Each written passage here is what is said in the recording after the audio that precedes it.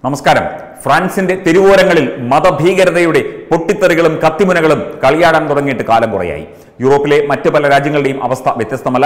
വിവിധ രാജ്യങ്ങളിലേക്ക് അഭയാർത്ഥികളായി കുടിയേറിയ മുസ്ലിം മതഭീകരവാദികൾ അവിടെ ചെന്ന് അവിടുത്തെ ജനതയെ ചോദ്യം ചെയ്യുകയും അവിടുത്തെ ജനങ്ങളെ ജന ജനതയെ വെട്ടിക്കൊല്ലുകയും അവിടുത്തെ സ്ത്രീകളെ അടക്കം പീഡിപ്പിക്കുകയും ബലാത്സംഗം ചെയ്യുകയും ചെയ്യുന്ന ആ ഒരവസ്ഥയിലേക്ക് ആ ഒരു വളരെ ഭീകരമായ ഒരു അവസ്ഥയിലേക്ക് നമ്മുടെ ലോകം എത്തിയിട്ട് കാലങ്ങൾ എത്രയുമായി. ഇതിനെതിരെ അതിശക്തമായ നടപടിയാണ് യൂറോപ്യൻ യൂണിയനും മറ്റ് മറ്റ് ഏജൻസികളുമൊക്കെ കൈക്കൊണ്ടുവരുന്നത് എന്നാണ് അറിയാൻ സാധിക്കുന്നത്. ഐക്യരാഷ്ട്രസഭ ഈ ഒരു വിഷയം വളരെ കാര്യമായി തന്നെ ചർച്ചയ്ക്കെടുത്തിട്ടുണ്ട് ഇത് ഒരു ആഗോള ഭീകരതയുടെ ഒരു പ്രാരംഭ നടപടിയായിട്ട് വേണം ഇതിനെ കാണാൻ. ഭീകരതയും മതഭീകരതയും ലോകം മുഴുവൻ വ്യാപിപ്പിക്കുന്നതിനുള്ള ഒരു കുൽസിത ശ്രമത്തിന്റെ അല്ലെങ്കിൽ ഒരു ഗൂഢമായ ശ്രമത്തിന്റെ ഭാഗമായിട്ടാണ് ഇത്തരം നടപടികൾ മുമ്പോട്ട് കൊണ്ടുപോകുന്നത്.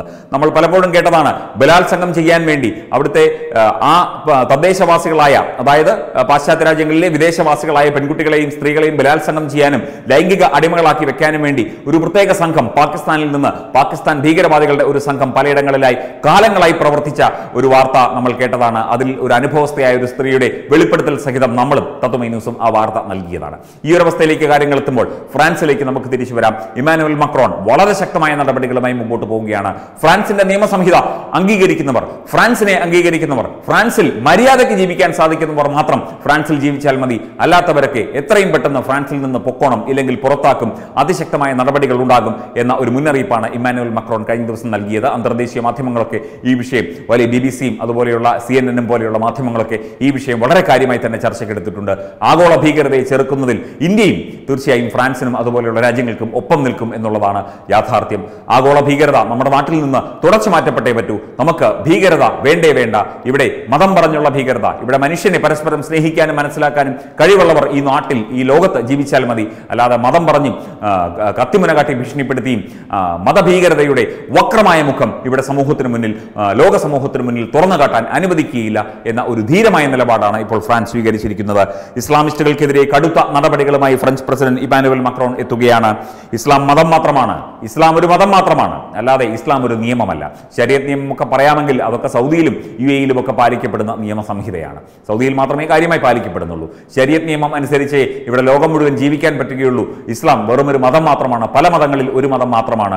ഇഷ്ടംപോലെ മതങ്ങളുണ്ട്. ഹിന്ദു മതമുണ്ട് അതുപോലെ തന്നെ ക്രിസ്ത്യൻ മതമുണ്ട് അത് ബുദ്ധമതമുണ്ട് അതുപോലെ ജൂതമതമുണ്ട് അങ്ങനെ ഒരുപാട് മതങ്ങൾ ഈ ലോകത്തുണ്ട്. അതിൽ ഒരു മതം മാത്രമാണ് ഇസ്ലാം. അല്ലാതെ എല്ലാം ഇസ്ലാമാണ്. ഇസ്ലാം മാത്രമേ ഉള്ളൂ എന്ന് പറഞ്ഞുകൊണ്ട് ചെന്നു കഴിഞ്ഞാൽ ഇനി വിവരമറിയും എന്നാണ് ഫ്രഞ്ച് പ്രസിഡന്റ് പറഞ്ഞിരിക്കുന്നത്.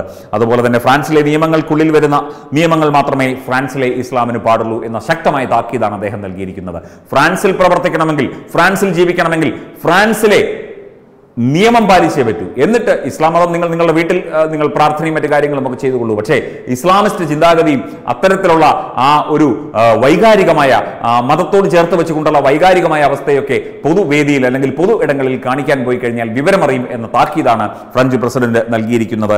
അതുപോലെ തന്നെ ഫ്രാൻസിലെ ഇസ്ലാമിന് ആ നിയമങ്ങൾ മാത്രമേ പാടുള്ളൂ. ഫ്രാൻസിന്റെ നിയമം ഫ്രാൻസിന്റെ ഭരണഘടന അനുസരിച്ചുള്ള നിയമങ്ങൾ മാത്രമേ പാടുള്ളൂ. അതനുശാസിക്കുന്ന നിയമാവലി അംഗീകരിക്കാൻ ഈ രാജ്യത്തെ മത നേതാക്കൾക്ക് അവശേഷിക്കുന്നത് പത്ത് ദിവസത്തിൽ താഴെ മാത്രമാണ് എന്ന ഒരു ശക്തമായ ഒരു ഡെഡ് ലൈൻ കൂടെ നൽകിയിരിക്കുകയാണ്. പത്ത് ദിവസത്തിനകം ഇവിടുത്തെ ഫ്രാൻസിലെ മത നേതാക്കളൊക്കെ തന്നെ ഇതുമായി ബന്ധപ്പെട്ട വിശദീകരണം നൽകണം അതുമായി ബന്ധപ്പെട്ട കാര്യങ്ങളൊക്കെ വ്യക്തമാക്കണം എന്ന് പറഞ്ഞിരിക്കുന്നു. രാജ്യത്ത് തുടർച്ചയായുള്ള ഭീകരാക്രമണങ്ങളുടെ പശ്ചാത്തലത്തിലാണ് ഫ്രഞ്ച് പ്രസിഡന്റ് ഇമാനുവൽ മക്രോൺ ഇത്തരത്തിൽ ഒരു നടപടി സ്വീകരിച്ചിരിക്കുന്നത്.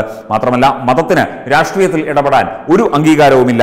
അതുപോലെ തന്നെ ഇടപെട്ടാൽ അഞ്ചു വർഷം തടവും പൗരത്വം റദ്ദാക്കി വന്ന സ്ഥലത്തേക്ക് നാടുകടത്തും എന്ന ഒരു കാര്യം കൂടി പറയുന്നുണ്ട്. അതുപോലെ തന്നെ എല്ലാ കുട്ടികൾക്കും എല്ലാ കുട്ടികൾക്കും വ്യക്തികൾക്കും തിരിച്ചറിയൽ കാർഡ് നിർബന്ധമാക്കിയിട്ടുണ്ട്. അതുപോലെ തന്നെ മദ്രസാ പഠനം ഉൾപ്പെടെയുള്ള കാര്യങ്ങൾക്ക് നിയന്ത്രണം ഏർപ്പെടുത്തിയിട്ടുണ്ട്.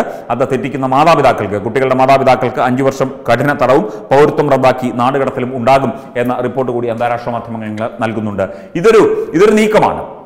ഇതൊരു നടപടിയാണ്. തീർച്ചയായും ആഗോള ഭീകരതയെ ചെറുക്കാനുള്ള ഏറ്റവും പ്രധാനപ്പെട്ട നടപടികളിൽ നടപടികളിൽ ഒന്നായി തന്നെ നമുക്കിതിനെ കാണേണ്ടി വരും. തീർച്ചയായും യൂറോപ്യൻ രാജ്യങ്ങളൊക്കെ തന്നെ അതി അതിശക്തമായ നടപടികൾ ഇത്തരത്തിലുള്ള നടപടികൾ പ്രാവർത്തികമാക്കിക്കൊണ്ടിരിക്കുന്നു.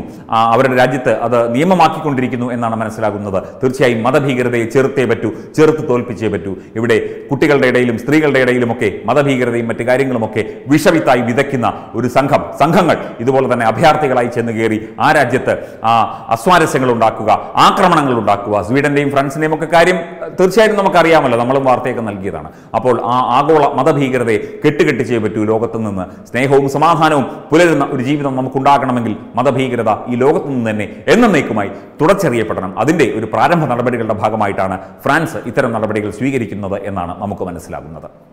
വെബ് ഡെസ്ക് തത്തുമൈ ന്യൂസ്.